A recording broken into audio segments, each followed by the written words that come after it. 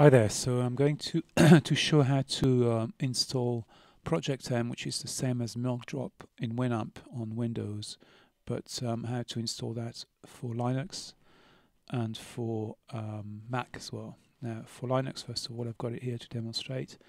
That's using a um, music program called QMMP, and this is the, uh, so let's just put a track on, and as you can see the track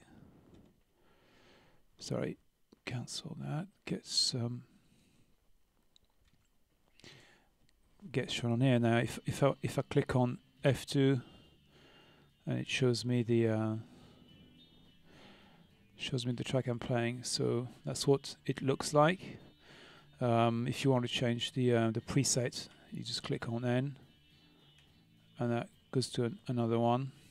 You can also click R which will give you random presets. Now there are many, many presets, many, many patterns. Let's uh, click through here. All these types of things, like that. I'm just trying different ones here. Often they change from time to time anyway when you've got the thing playing. If you want to take off the name of the track, you can do that. F2. Move your cursor out of the way. So I mean, it, for the ones of you who've used Milkdrop before on um, on Winamp, it's not new. It's just using a different platform. There you go. Okay, F to make it small. I can al also do it um, right click here, always on top, so it doesn't go away. Now, what I'm going to do is I'm going to show how to install that. First of all on the Mac because it's quick, and then on uh, on this QMMP program. You can you can link it to other music programs on uh, on Linux apparently audacious, but I've not yet worked out how to do that. Um, you can also have it running independently, and it's meant to pick up sound from any player, but um, again, I'm not all that experienced with that.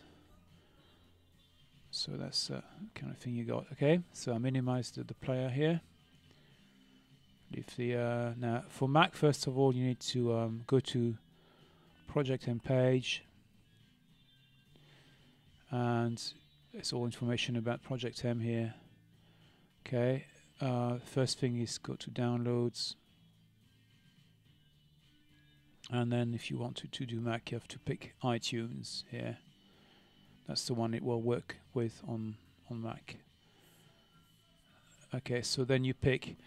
I would try and pick the uh, the latest version, 1.2, and see depending on which version of Mac you've got, you may find it, it's too advanced or not advanced enough. So I installed it on 10.4 uh, Mac a few days ago, and the one I had joy with was this one here, 101. But uh, just try any of these. So just double click onto that one here. And then you got your DMG, which will be down the bottom here. So open your DMG and then I've got a little piece of information here for Macs, which is that one. Uh, once you've got your DMG, you double click on the DMG, you copy Project M bundle to library forward slash iTunes, forward slash iTunes, plugins, and restart iTunes. Then you, you select View Visualizer Project M. Okay, and the keys are the same as they were on on um, on Linux. And for next, P for previous, R for random, and F3 to show the preset name. So that's basically all you need to know for Mac. Uh, basically, go to first of all uh, the download page. Go back a bit.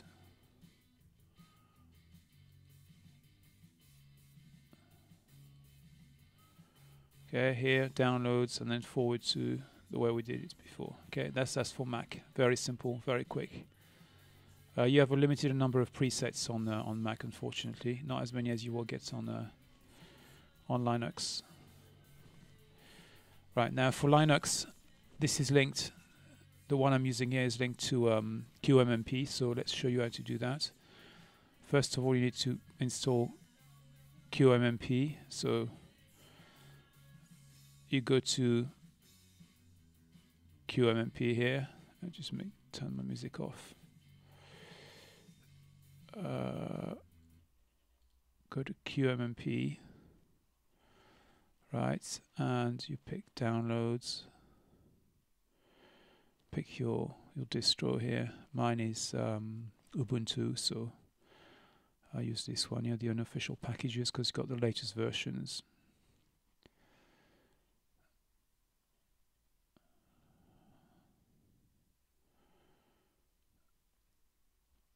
Okay, so um, the usual way you install this kind of thing, the key, the uh, add these to your software sources, and then you go sudo apt uh, get update, and then you do sudo apt get install QMMP. So then you've got um, one of the, most recent versions is 4.3, uh, the uh, the version for uh, Maverick. The latest one is 04.3. But as I say, just find your distro and install that.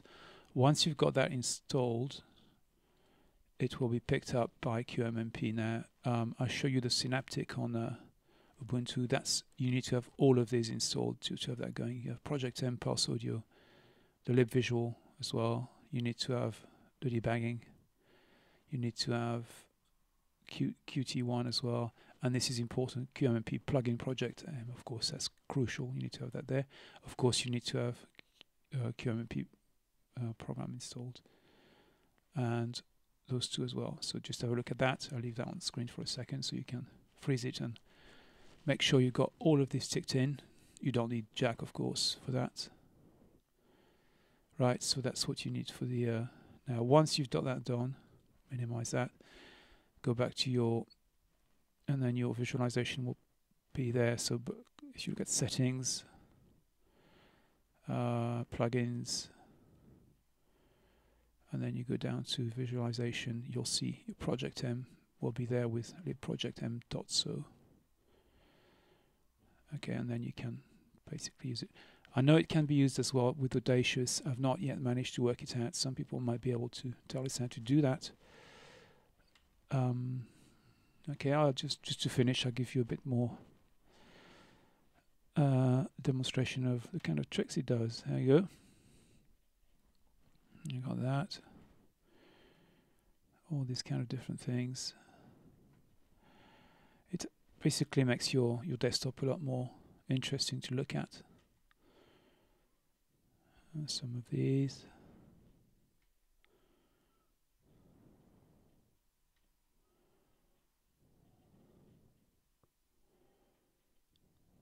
Okay, so good luck with that. Enjoy it.